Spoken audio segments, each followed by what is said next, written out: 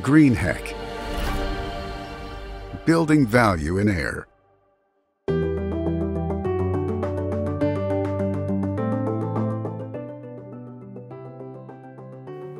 Hello, I'm Phil Stazak, Application Engineering Specialist at Greenheck.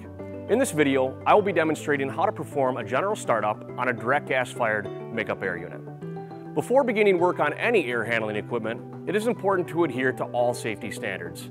Be sure to wear appropriate personal protection equipment and adhere to all local codes. You will need these tools for the procedures described in this video.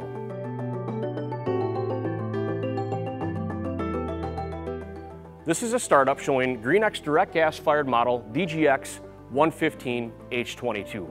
Your model may vary slightly depending on the selected configuration and control options. The unit serial tag, located near the main disconnect of the unit, will identify your particular model. Before startup, it is important to familiarize yourself with the unit's layout and components. Refer to the unit's installation, operations, and maintenance manual. This can be found at greenheck.com by entering the model in the search bar. The Quick Start Guide, as well as the unit ladder diagram, is located in the interior of the Electrical Control Center access door. You will also want to reference the Startup section of the IOM for a complete startup procedure, as well as a section to document your startup data. The Quick Start Guide is intended for a quick reference only.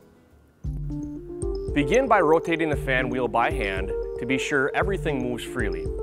Check the V-belt drive for proper belt tension and alignment.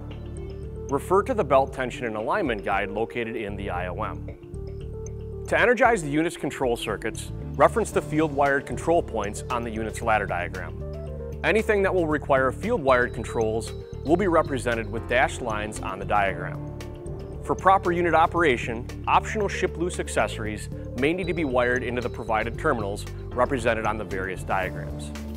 If a factory-supplied remote panel was shipped with the unit, it will simply require terminal point to terminal point wiring.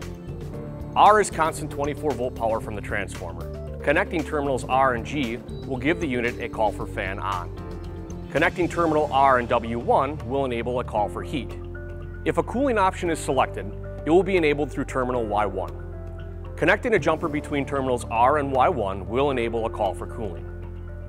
If an optional exhaust fan starter was selected with the unit, Connecting terminals R and H will enable the exhaust fan. Confirm the incoming voltage matches the unit's information label. Toggle the unit's disconnect to energize the unit. Verify the supply fan is rotating in the correct direction.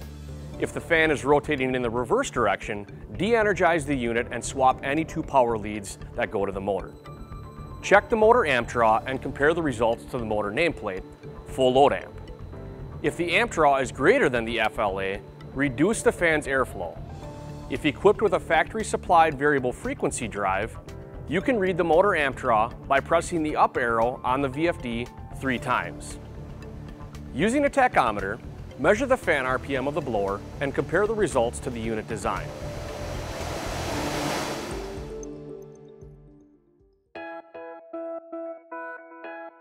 With the supply fan energized, connect the manometer to the outer sensing probes located in the unit's control center. Confirm the differential reading across the two probes is between 0.6 and 0.7 inches water gauge. If the differential is out of range, it will need to be adjusted. To increase the differential pressure, decrease the burner baffle opening evenly, or increase airflow by adjusting fan speed.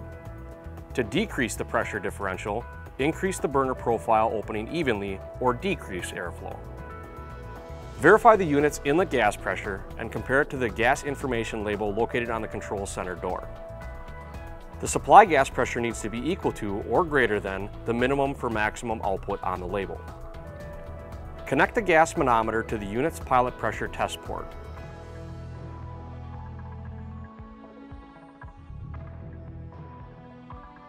Turn the burner shutoff valve to the closed position. Energize the heating by connecting terminals R to W1.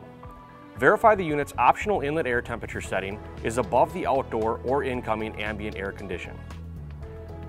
The burner controller module status light will turn green to prove power confirming the heat command, which initiates a 15 second pre-purge before progressing to pilot. When the pilot light turns yellow, the pilot solenoid will energize and allow you to verify pilot gas pressure. The pilot gas pressure should be set between 1.5 and 3 inches of water column. The pilot pressure can be adjusted at the pilot regulator. Clockwise increases and counterclockwise decreases the gas pressure. A pilot flame is present when you can see the red flame light on the burner controller. You can verify the strength of your pilot flame by monitoring flame signal on the positive and negative terminals located on the lower right-hand corner of the burner controller. Your flame signal must be above 1.25 volts DC. Once pilot is set and verified, remove the power from W1 to remove the call for heat. Now we will set up the minimum and maximum firing rates. Begin by setting the maximum firing rate to the design temperature rise located on the direct gas information label. Re-energize terminal W1 to initiate the call for heat. Send the unit into high fire by removing terminal 3 from the Maxitrol Series 14 or 44 amplifiers. Monitor the unit's discharge temp as well as the inlet air temperatures to calculate and adjust for the design temperature rise. Temperature rise is equal to the discharge temperature less the inlet air temperature. In this example, our inlet air temperature is 32 degrees Fahrenheit and our design temperature rise is 75 degrees Fahrenheit. Adjust the maximum fire rate at the combined or separate regulator, depending on your configuration, until the design temperature rise is achieved. In this example, 107 degrees discharge minus the 32 degree inlet gets us our design 75 degree temperature rise. After the high fire rate has been set and verified, the minimum firing rate needs to be set. Set the minimum firing rate to achieve a small ribbon of continuous blue flame across the burner. This is a visual set point only. Send the unit to its lowest firing rate by removing and isolating either of the wires going to the modulating valve. Set the minimum fire rate by turning the adjustment screw on the modulating valve until the continuous blue ribbon is achieved.